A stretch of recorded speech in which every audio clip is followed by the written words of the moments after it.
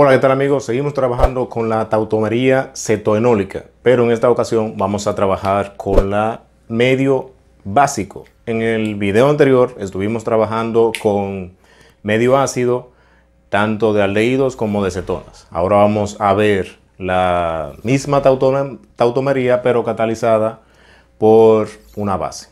Bien, para nuestro ejemplo vamos a utilizar estos dos aldehídos. Tenemos un aldehído de cadena abierta y otro donde tenemos también un ciclo, que sería derivado de un ciclo alcano, ¿verdad? Entonces aquí tenemos este aldehído que sería el etanal. Recordemos que vamos a hacerlo en medio básico, donde tenemos, por ejemplo, hidroxilo. Bien, a diferencia del video anterior, donde lo hicimos con la protonación de este oxígeno del carbonilo, que es parcialmente negativo, mientras que este carbono es parcialmente positivo. Y recuerden que tenemos dos pares de electrones.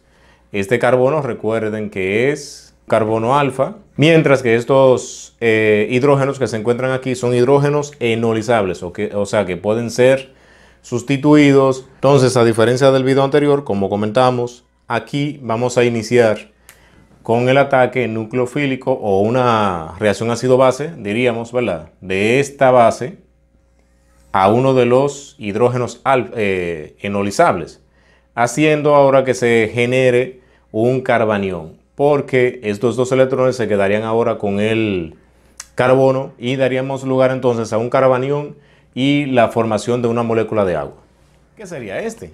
Porque miren, ahora tienen, ahora tiene dos electrones disponibles. O sea, tiene un electrón de más y por eso es un carbanión. Si tuviese un solo eh, electrón de más, no sería de carga negativa, sino un radical. Esta molécula, igual que la anterior, puede sufrir resonancia. O sea que vamos a tener un híbrido de resonancia que sería el siguiente.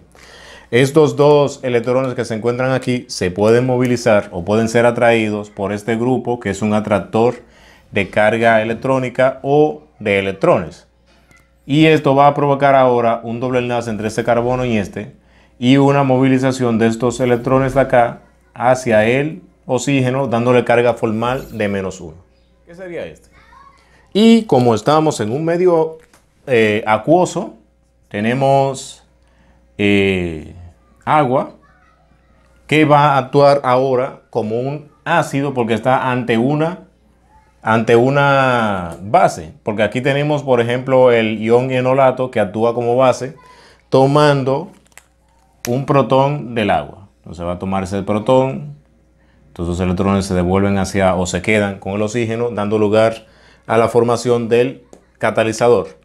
Y entonces vamos a tener ahora el la forma enólica o recuerden que esta es la forma ceto y vamos a obtener ahora la forma enólica que sería un enol. Que sería 1 eten 1 ol o lo podríamos llamar simplemente como etenol, dado que en cualquiera de los dos lados que se encuentre el OH se va a llamar igual.